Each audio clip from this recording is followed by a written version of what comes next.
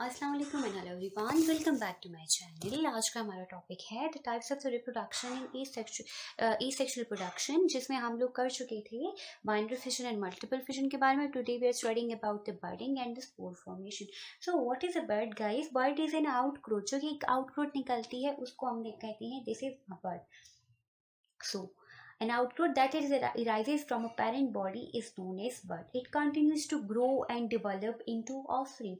अब होता क्या है कि एक बर्ड जो होता है, ये ग्रो करता है और ऑफरिंग में डेवलप होता है for example we are taking an example of the yeast which is a unicellular fungus reproduce by budding जो बर्डिंग के थ्रू रिप्रोड्यूस होता है नाउ ईस्ट में क्या होता है? कि in yeast a bud grows on the side of a cell ठीक है, ये आपको बर्ड ग्रो जो है बर्ड नज़र आ रहा है, जो ग्रो कर रहा है। Then the nucleus divide into two the nucleus जो है टू में डिवाइड हो जाएगा and one of the nuclear will move into the bud enter the bud अब डॉटर न्यूक्लियर जो है, उसने बर्ड में इंटर कर दिया है। Now the bud will grow in the size and it may be separated from the parent और may remain attach to it या तो ये सेपरेट हो जाएगा या फिर ये उसके साथ ही अटैच रहेगा। इस तरह जो है, एक बर्ड फॉर्मेशन होती है। बर्ड की एग्ज़ाम्पल यहाँ पे हमने ले ली है ई सेक्शुअल रिप्रोडक्शन में। Then if you are talking about the next type that is sir spore formation की स्पोर फॉर्मेशन कैसे होती है?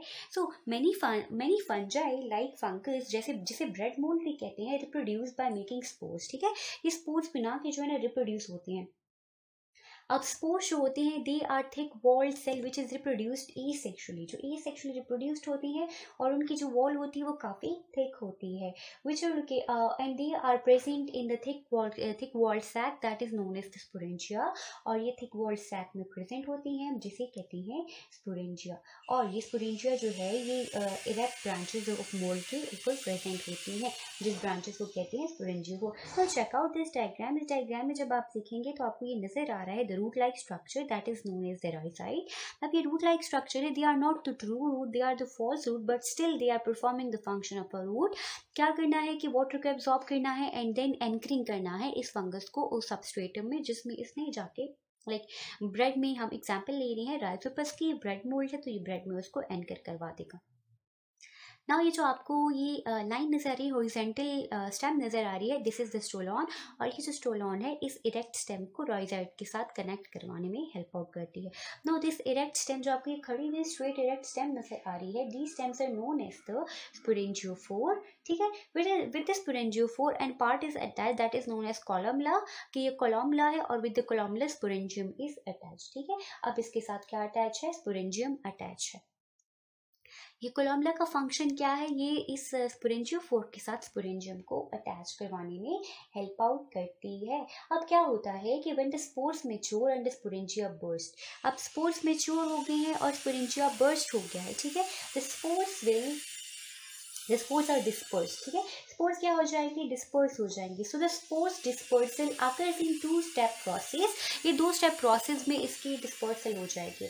अब फ़र्स्ट स्टेप में क्या होता है कि द स्पोर इज़ डिस्चार्ज और रिलीज़ लाइक क्या है? ये इसका जो स्पोरेंजिया है, ये बर्स्ट हो गया है स्पोर्स डिस्चार्ज हो गया या रिलीज़ हो गया अब सेकेंड स्टेप में क्या होगा? It is dispersed away from the parent अब ये क्या है? ये एक पेरेंट है, ठीक है? एक पेरेंट उसका राइजो है अब ये स्पोर्स यहाँ से जाएँगे, कहीं और पे जाके डिस्पर्स होकर लेफ़्ट जाएँगे. तो क्या हो जाएगा? सेकेंड स्टेप में इनकी डिस्पर्सल हो जाएगी। सिंपल एग्ज़ाम्पल देखिए, आप जो ब्रेड लेते हो, आपके पूरे ब्रेड का जो पैकेट होता है, उन्हें फंगस लग जाता है तो क्या वो फंगस पूरे ब्रेड पर लगा होता है? एट ए टाइम नो वो जो फंगस होता है, वो उस ब्रेड के किसी एक पार्ट के ऊपर ऑर्जिनेट होता है, वहाँ पर वो रिप्रोड्यूस होता है एंड देन जैसे ही उसमें स्पोर्स बनती हैं स्पोर उसकी जनरेट जो है वो डिस्पोर्स हो जाते हैं स्पोर जाके किसी और पार्ट पे ब्रेड के लगते हैं। इसी तरह आहिस्ता आहिस्ता करके पूरी ब्रेड जो है वो फंगस इन्फेक्टेड हो जाती है, उसके ऊपर फंगस लग जाता है। Keep in mind about the sports के स्पोर्ट्स जो है ये एडवर्स इन्वायरमेंटल कंडीशन के काफ़ी रेजिस्टेंस है। वाई क्योंकि इनकी जो वॉल होती है वो काफ़ी थिक होती है।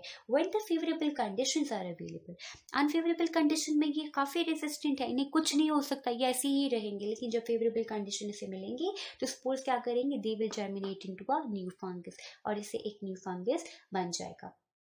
So the important external factor for the spore germination includes the optimum temperature, moisture, oxygen, light. ये सारी चीज़ें जब उसे मिलती है तो वो जो फंगस होता है वो इजीली जो है जर्मिनेट कर लेता है। जस्ट लाइक कैबिनेट्स में आपने देखा हो कि वहाँ पे फंगस लग जाता है। क्यों लग जाता है? कि वहाँ पे उसे मॉइस्चर भी मिल रहा है पॉजिटिव टेम्परेचर भी मिल रहा है ऑक्सीजन भी मिल रही है। लाइट ऑब्वियसली किचन है आप डोर को कैबिनेट ऑन खोलोगे बंद करोगे तो भी उसे मिल जाती है। तो ये जो ऑप्टिमम सारा वो जो कंडीशंस थे जो उसे मिल रहे हैं वहाँ पे फंगस जो है वो इजीली ग्रो कर जाएगा। तो इस तरह जो है फंगस की ग्रोथ होती है।